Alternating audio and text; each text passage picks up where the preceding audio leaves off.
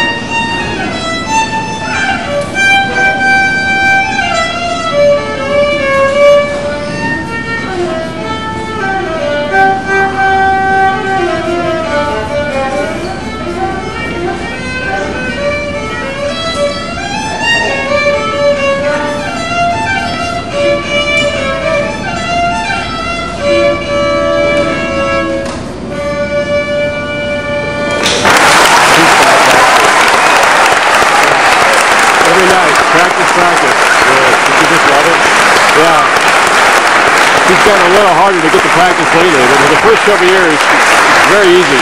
That's very Now we get a little bit of rebelling. Well, sure. Yeah.